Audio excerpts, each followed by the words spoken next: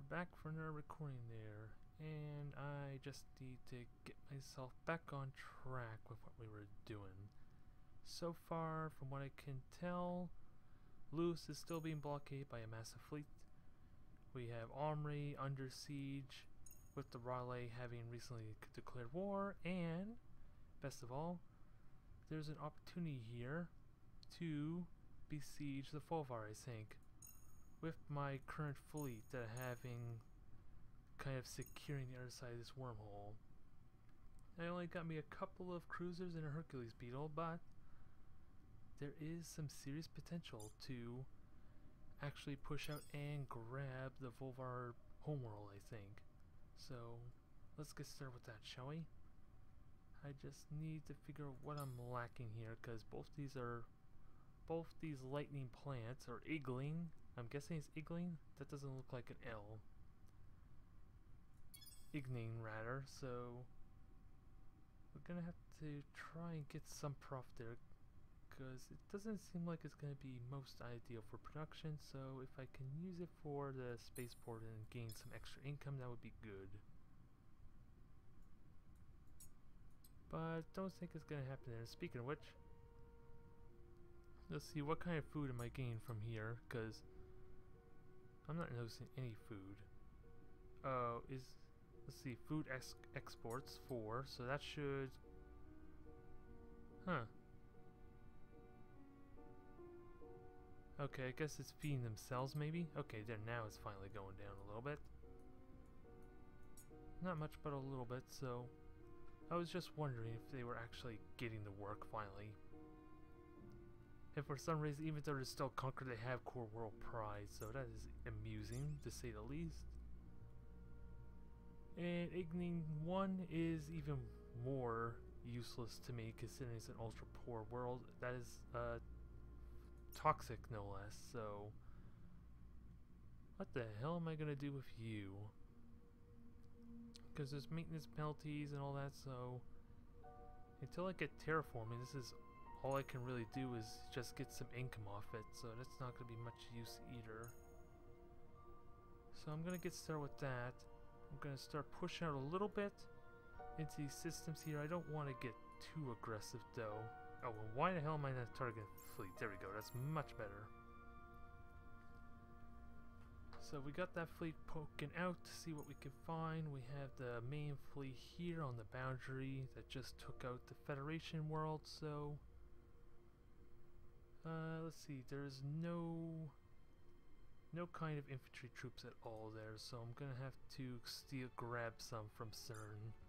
Oh wait, never mind, CERN doesn't even have any infantry, they're all over at Zeta, so let me grab them from there instead. I have the infantry fort, so I can do that. Let me just correct some of this, shall I? Because I don't think I want an infantry that has only a rocket launcher. That sounds very stupid. Having only one shot that has like a 30 turn cooldown, I think. A 4 turn cooldown, that's actually not too bad. That's actually not too bad at all, but still, there was a free slot, so might as well stick with that. Actually, I'll switch him to a medic and start taking them out a little bit. Hopefully, Saya should be alright, considering once I push up here, I'm going to be able to secure that region a little bit better. And with that fleet gone, there should be like almost no defense on An Andolf. So, what else did I want to do? Ooh, I actually got some Hornets here. It's Cluna Savior Chular, which I just did my video on for that, so... Where can I go to get that refitted? Because the Kucks aren't really going to be doing much use there as far as refitting. So, do I want to take that to Tremedy? I probably do. So take that on the subspace way and get this horn to... I guess to re reinforce this fleet up here. And I'm going to need some more scouts, I think, as well. Even though I did destroy both the Vulfar and the human fleets, there's still the possibility of getting backdoored here through this magic system or this Vulfar region here which it seems like they're building most of the fleet at, or at least rendezvousing it with everyone. So that's probably the biggest risk with doing that. Oh, and I also have the Kucks to deal with, so let me check out the Tremity. Mech Factory's almost done, but I think I want an actual explorer to get my uh, scouts back up. No, I do not want to edit the ship. Although I'm still going to have to reconsider trying to find a use for these different type of corvettes or even frigates. Because they would be kind of handy to deal with the big threats. So I want some more explorers though. And they're relatively cheap. Only downside of course is that they cost me extra command points. But I actually have three free slots available so I can get away with it. So it's not a big deal. Because I do want to check what the Kucks are up to there. And I have one already in the quarter scene, which hasn't really been giving me much intel as far as what the fl their fleets are doing, because everything has pretty inferior tech, which is silly. I gotta be able to find something that's higher tech that can give me a good reference of what they're going to be going for as far as their fleet. Because the Vulfar was pretty consistent. They got a lot of mass drivers, kind of like the Kucks did. The Federation are doing lots of disruptors and energy cannons. And the Raleigh here have been pretty obsessed with at least their battleships being heavy carrier ships. So there is a consistent theme with all the races so far, and I kind of want to figure out what the quarter scene are going for as far as their fleet style. Mind you, the Raleigh have pretty primitive tech, considering they're still using, what is it, is that plastic steel or regular steel? Regular steel, so not only they immobile, but it's like the starting armor. So they are pretty easy to dominate once I get, hopefully in theory, I should have actually checked the hard shield there, tech. See if that was effect as effective as I thought it would have been.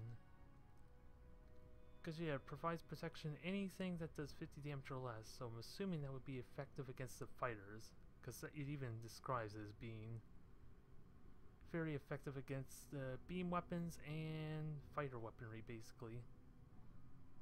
Alright. So I think that's everything all done that I need to do, so let's... Oh, this is a nice convenience, isn't it? I don't even need to do this. I should probably auto it. Because I didn't lose anything. No damage to the fleet. So perfectly fine with that. Ooh, and it's an ultra rich world I just realized. So that works perfectly for me. With Latinum. Let's see, makes your oh, it makes credit offers, so that's like diplomacy related, so I'm probably not gonna benefit too much from the the Latinum considering that everyone is hating me right now. Oh, and I actually have a lot of spies, I just realized, so maybe I should start playing the Muse. Who do I want to spy on, though? Because the moment I start spying on the quarter scene, they're going to start hating me in, in, incredibly quick. Especially when they start catching them. So, do I want to start spying on the humans? I probably do. Let me just check what kind of tech they have to see if it's worth it, or if I could just grab it from assimilation even. No, they only got four techs that I can see, so probably want to just wait until I conquer them with conquer them all and just steal tech that way. So what I can do is just keep building up spies because I seem to have a good number. Don't know the exact amount. Actually, I can't find out. Alright, I have 17 spies apparently, so I can build it up to quite a significant number, especially as I build up my, uh, whatever that building is called that enhances my spying defense and effectiveness of spies. Where is it? I there's one on here. Xeno Intelligence Agency, okay.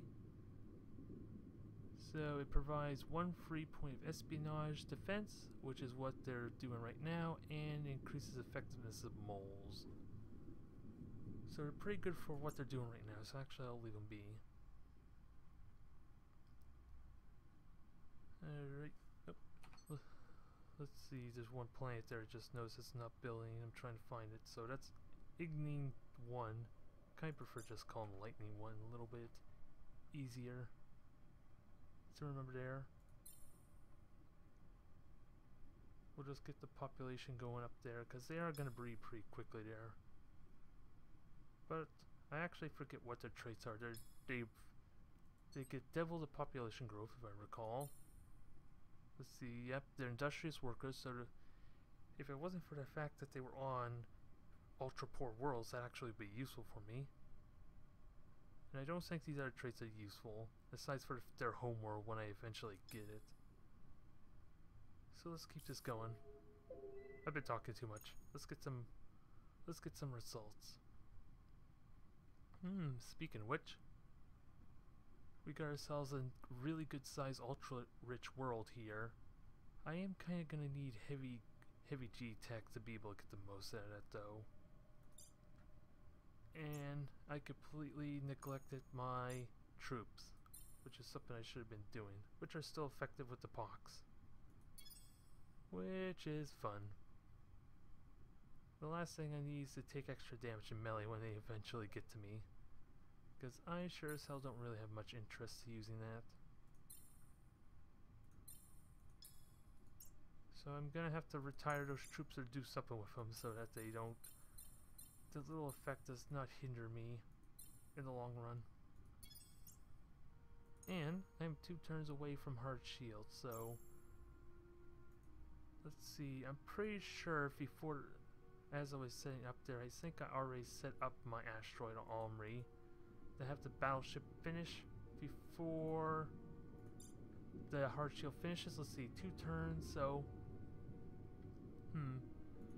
Just to be safe, because I'm assuming the hard shield will take effect before the battle takes place, but...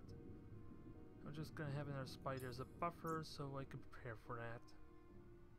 Because I would like to see if that actually works, because that would be the perfect opportunity to test it since I am kind of using the battle stations to kind of chip away at their army anyway.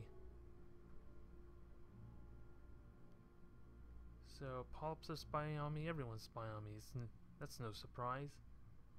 Because they feel like they can get away with it. Whereas, me, as soon as I start spying on them, they're going to be infuri infuriated. There's no doubt. So let's see, they hardly have anything here. Lots of heavy G worlds, mind you, but still. Hardly anything at all. So that begs the question, is this the home world right here, is that the one further down? I'm assuming that's the home world. Because normally that's like in the middle of everything, within reach for all their colony ships. So, we're gonna go there next once we conquer everything here. Ooh, this is gonna be nice and simple. The main catch though is making sure I don't overextend too much. So what I ultimately want to do is keep these ships up guarding that wormhole above all else. And then use the planets to kind of be the reinforcing planets. Because I don't want to bring any more ships across the wormhole to kind of defend this area's space. Because it's just really to keep Uh, the Vulfar from being a nuisance to be able to dive bomb my dive bomb my plant there. That's without without me having any really any. Damn it! I'm I'm stumbling my words there. You can clearly tell this is the beginning of the recording. Kind of give me some more time. The idea was so I can react as opposed to the wormhole where they're right next to my planet to invade it, and I don't need that. And I keep forgetting about having to switch their behavior in the shipyard, damn it. That would make things a little more convenient. Not that I really need it here. There's nothing really need to look at there besides we conquered that plant. And I just gotta wait for my infantry squad to finish up the rest. This will give me a nice sized world. I think it was high gravity though, so I will suffer a little bit of penalty. So I'm really gonna need to look for a faction that has the high gravity stuff. Oh, and there's the hard shield. Perfect. But before I do that ground invasion, who the hell has heavy gravity tech? Or adaptation? I know someone did. Knowing my luck, well, I already checked the human fleet, so knowing my luck then, it's probably the quarter scene. Let's talk with the Kucks. It's been a while since we even visited them. All they have is plasma torpedoes that I don't. Which I don't think I really need considering I already got antimatter torpedoes, or photon torpedoes rather. Ooh, maybe the Polyps will. Because I want to keep on good relations with them, right? Yep, they have it. So if I can get that now, that'll solve a lot of my problems. Or issues I'll have assimilating or making use of these plants, but I don't have the tolerance for any tech, so I'm gonna have to wait a little bit actually. So much for that. So let's see, can we siege this? Yes we can, so let's make this quick. In fact, I wonder if they are afflicted with the pox as well. Yep, they have the pox, so every single one of the worlds actually utilizing it. I may have created a monster here, giving them the Temple of Brutality tech. One of my uh, few failings during this campaign, I'm sure. All the more reason to put them down. And that was no pun.